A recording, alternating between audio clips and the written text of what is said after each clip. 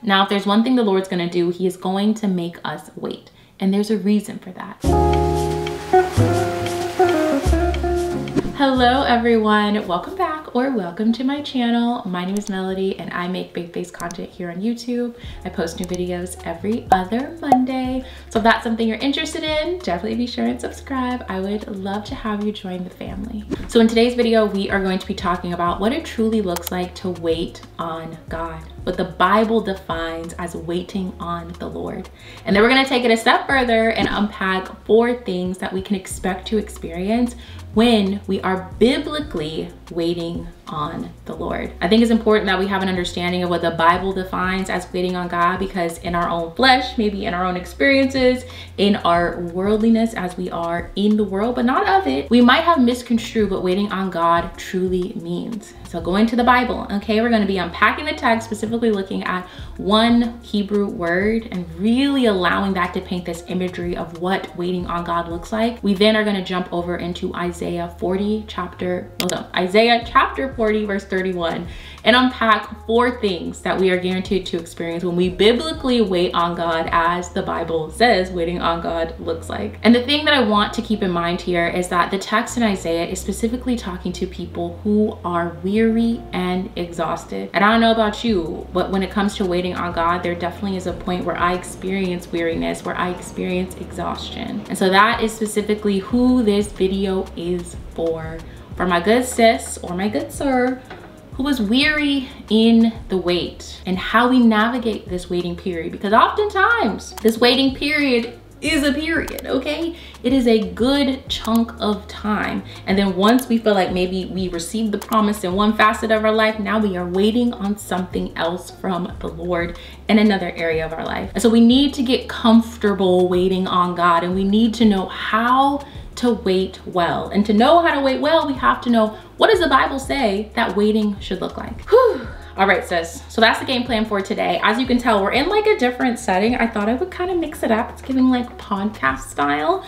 So let me know what you think. But before we hop into it, I do want to go ahead and pause here and thank the sponsor of today's video, Hillsdale College. You guys already know I absolutely love Hillsdale College because they offer over 40 online free courses on topics that we actually want to know more about. I've gone through their course on the book of Genesis. I am currently, slowly but surely, making my way through their course on the book of Exodus. After this, I have my sight set on the David story, which breaks down David's life from shepherd boy all the way up through king and into his death as well. These courses are beautifully shot. They are not boring at all, but you are getting that sound theological biblical information. And as someone who is looking into taking like seminary courses or maybe getting a little certificate, seeing these prices, okay, of what these colleges are costing, I'm just so grateful that Hillsdale College offers all of these courses online for free. And this is not free just with my link. This is not free for a limited time. since these courses are always free. So definitely tap into these free resources,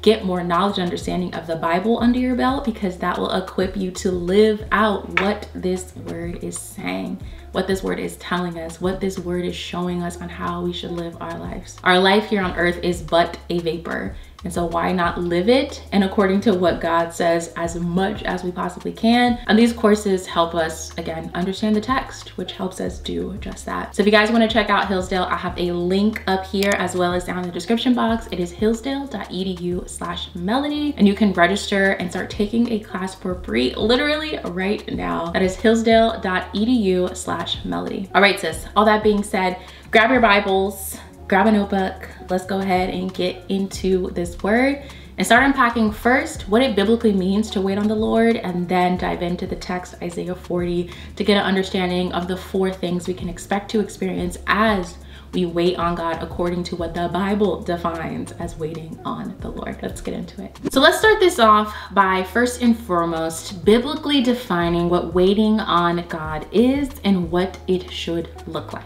And so if you pull up the word wait or wait on the Lord in Hebrew, you're going to get this word, which according to my phonetic pronunciation of it, it is kal val. I don't know why my brain is like really struggling with that, but Kal And so as you look up some of the meanings of that specific word and like how they describe that word, one of them is intertwined or twisted like a rope. And so here we can have this imagery that waiting on the Lord or to wait on the Lord is to be twisted up, intertwined with the Lord. And so let's take it a step further and really get this imagery. So let's say that we are doing a three-legged race. That's when two people tie themselves together. Okay, let me not cover my face. Two people tie themselves together and they're both using one of their legs, but this other leg is now becoming one singular leg. So they are three legs moving together. And so when we tie ourselves up with the Lord, when the Lord stops, we stop. When the Lord starts running, again, we're tied up together, we start running. And so that biblically is the imagery that the authors of the Bible and the Lord has left us for what waiting on him looks like. We have intertwined ourselves with him. We can't help but stop when he stops. We can't help but run when he runs because again, we are tied up to him. And this is where we have to pause and ask ourselves, are we tied up with the Lord? Sometimes our waiting looks like us feeling like, okay, I might go over here and try this, or I'm feeling a little impatient. Let me go ahead and take matters into my own hands. But if we were truly, okay, like a cord, wrapped up, intertwined with him, we couldn't go off and do our own thing because simply where the Lord is, is where we also would be. And so that's the first thing that we have to understand here and the first heart posture that we have to assume here when we are waiting on God. Tie yourself to the Lord. When the Lord stops, that's where you stop. When the Lord starts running, that's where you start running. When the Lord is taking it slow and easy, that's when you are taking it slow and easy. When the Lord is laying down and resting, that's when you are laying down and resting. And now as we transition over into the text in Isaiah chapter 40, verse 31, here Isaiah is prophetically speaking to the nation of Israel after they have been in exile in Babylon for 150 years. These people know weary, these people know exhausted. Granted, when we really paint the picture of what this text is all about, the first 39 chapters of Isaiah is Isaiah admonishing the nation of Israel because of their idolatry, because how far away they were from the Lord. And so he is rising up a remnant who is a part of the exiled people in Babylon. And Isaiah now is giving them hope for the first 39 chapters of Isaiah, he basically was beating them over the head saying, this is what you did wrong. And this is why you were in this position that you're in. And now he is giving them hope. And in that hope, he tells them, I'm gonna go ahead and pop it up on the screen. We can read this verse together. But they that wait upon the Lord shall renew their strength. They shall mount up with the wings as eagles. They shall run and not be weary, and they shall walk and not faint. And so this is the promise that we also can prophetically receive from Isaiah when we biblically wait on the Lord. God doesn't waste words. He's not painting this imagery for no reason. So let's go ahead and unpack it line by line, the four things that we can expect to experience as we also wait on the Lord. And again, wait on the Lord by being intertwined with him in this process. So number one on our list, the first thing that we can expect to experience when we are biblically waiting on the Lord is for our strength to be renewed.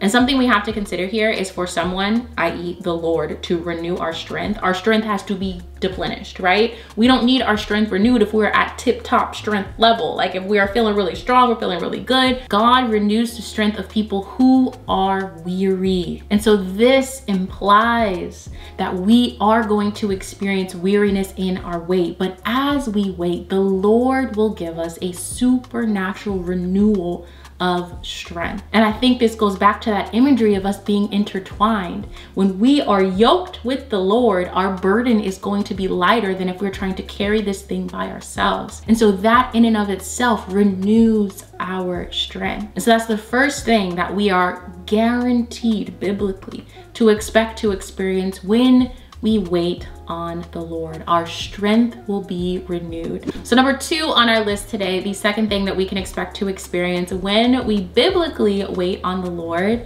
is that we will soar on wings like eagles. And so this is talking about the measure, right? How much of this supernatural strength renewal God will pour out on us He is going to give us enough that we are not only just, you know, crawling through the day, we're not just taking a step by step through the day.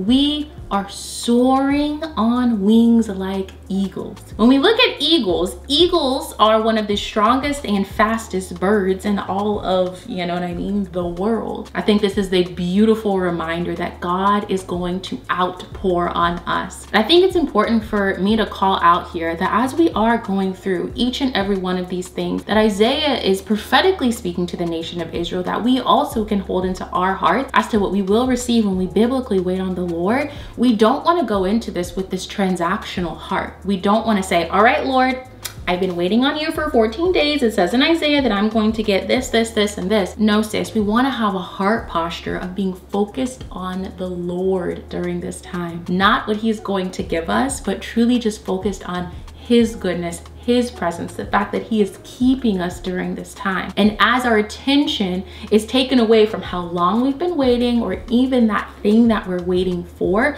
and we're simply focused on his face, being in alignment and intertwined with him, that is when this outpouring, right? This measure that it talks about here, where we are soaring on wings like eagles, that's when this supernatural renewal of our strength occurs. And it's important for us to remember that we're not holding on to God's hand for what he can give us. We're holding on to God's hand because of who he is to us, our Heavenly Father, okay? And so that is going to be number two. So number three on our list today, the third thing that we can expect to experience as we biblically wait on the Lord is to run and not grow weary. This is basically talking about the purpose of the renewal of our strength that the Lord outpours onto us. Not only does he give us enough that we are soaring on wings like eagles, but he gives us this outpouring so that we can continue forward with him. Not so we can stay and make a bed in this season that he has us in, not so we can go off and do our own thing, not so we can go backwards, but he gives us this strength so we can move forward with him. And we're not just moving forward, we are running, sis. And I think this is a beautiful correlation to the verse that is out of First Corinthians chapter 9, where Paul tells the church in Corinth to run their race. This is the purpose behind God outpouring this supernatural strength renewal so we can continue to run our race. So number four on our list today, the fourth thing that we can expect to experience as we biblically wait on the Lord is we will be able to walk and not faint. And now let's go ahead and talk about the breakdown of the flow of these things today. So first we soared on wings like eagles.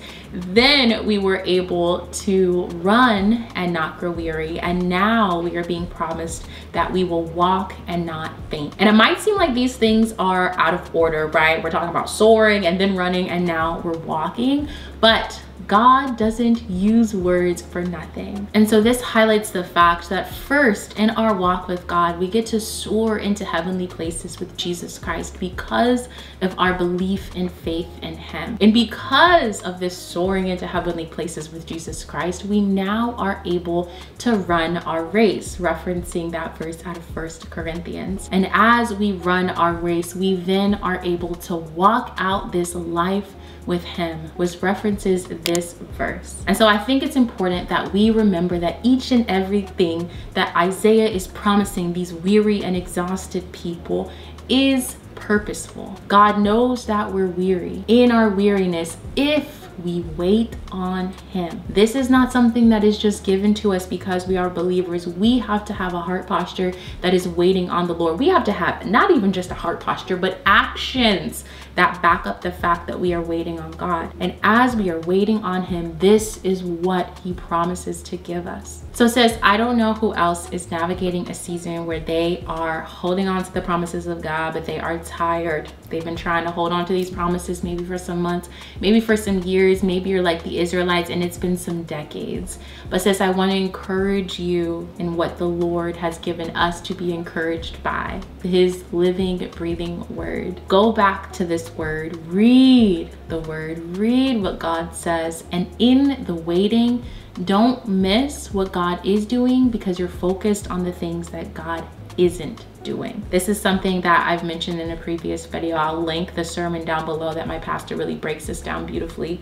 But in this season of waiting, there can be a tendency for us to get discouraged. And a lot of our discouragement can come from the fact that we're waiting on God to do something specific or to move in a specific way or to give us something specific or for a promise to come to pass. And when we don't see that thing happening, we lose sight of the fact that God is still working in this season. We're so focused on the thing that He didn't do that we're missing what he did do. And so I pray that this scripture today out of Isaiah is able to encourage us in what we are likely experiencing right now, but that we might be missing. Sis, the fact that you made it through yesterday, God has renewed your strength the fact that you are still walking in your sound mind, the fact that you still have your faculties, the fact that you still have what you need to get through today, God has renewed your strength. And it is because of how you are waiting. And then for those of us who we realize by this biblical definition of waiting that we are not actually truly waiting on the Lord, let us get into position and do just that to receive his outpouring of supernatural renewed strength. All right, sis, that is gonna be it for me. If you enjoyed today's video, please be sure to give it a thumbs up. Thank you again to Hillsdale College for partnering with me on today's video. And now, of course, it is your turn. So in the comments below, I would love to know what is something that you are waiting on God for? Like I mentioned at the beginning of the video, we all are waiting on the Lord for something. This is a universal experience of all believers. So let us know in the comments what you are waiting on the Lord, just one thing you are waiting on the Lord for and how we can be praying for you during this waiting season. I'm gonna be sure to drop my response, so definitely take a second, drop yours, and then scroll on through. And then also the freebie for this video is a carefully curated playlist for those of us who are navigating a waiting season or maybe feeling like, you know, this is giving a waiting life okay just a life full of waiting. So i'm gonna go ahead and drop that playlist down below for you. It is going to be filled with songs that have truly just been ministering to me during the waiting season just from a variety of artists and um, some of my faves. So definitely grab that playlist to keep you encouraged throughout the day throughout the week throughout the month. And as always i love you guys and i will see you in my next video. Peace